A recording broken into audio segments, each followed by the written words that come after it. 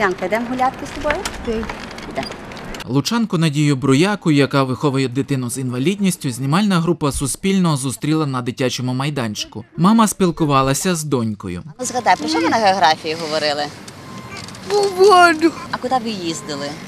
Так. Поки мама опікується донькою, бабуся Софія, яка приїхала в гості, гуляє з меншою онукою. Вона весь час жде, що я їй скажу, золотко ти моє дороге є, найдорожче моє золото. Емоційно зустрічає, радіє. З Улянкою ми більше отак їздимо. Бачите, ходить мені її важко водити. З татком то вона ходить. Pісля прогулянки, коли повертається додому, з'являються перешкоди. Підняти інвалідний візок на перший поверх до ліфта складно, каже мама. Сьогодні допомагає бабуся.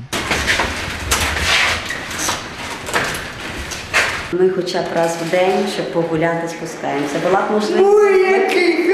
Спускались набагато частіше. Якщо немає кому допомогти, Уляна займається вдома. Тричі на тиждень приходять вчителі реабілітологи. В квартирі дівчинку пересаджують в інший візок.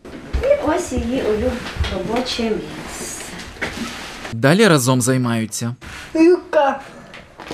А тут є улюблене слово, яке? Тато. Тато, правильно. Надія Брояка народила Уляну у 27. На первістка, каже, жінка чекали усією родиною. Пологи були передчасними. Вона народилась на 26-му тижні вагітності з вагою 700 грам. Так як це було 14 років тому, це був перший рік, коли їх почали рятувати. Насправді раніше це ще був пізній аборт, називався на цьому терміні. Її спочатку спостерігали, чи будуть її рятувати, бо не знали, чи вона виживе. В основному рятували мене.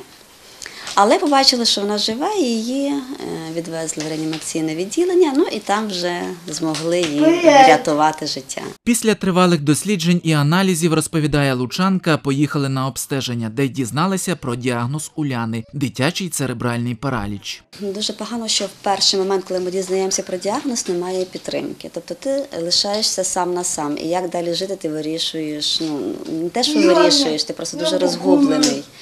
Е, І якось майже всіх такі історії всі зникають. От просто в той момент всі зникають. Коли в тебе стається таке, не знаю чому, друзі зникають, багато родичів зникає, колег зникає, всі перестають тобі дзвонити, якась така тиша, і ти такий просто в шоці. Жінка каже, разом із татом Уляни знайшли сили долати труднощі. Хоч продовжує суспільство, досі не готове сприймати такі родини. Тролейбус не, не під'їжджає до е, бровки близько, і мені треба скакати. Мені дуже рідко допомагають. От ніби як всі розбігаються, от ну не знають як, і краще повернутися в сторону. І ти така там мала тим візком стоїш безпорадно. Коли діти запитують, а чого така доросла і на візку, коли батьки там цю цю ци ци ци ну і не пояснюють, коли їм легше батькам забрати дітей з дитячого майданчика, коли ти приходиш, ніж пояснити дитині, що до неї можна підійти і поговорити.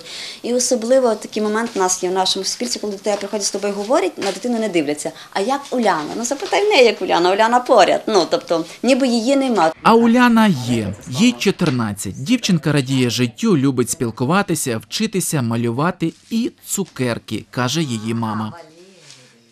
Петро Юровчик, Валерій Фетисов. Новини на Суспільному. Волинь.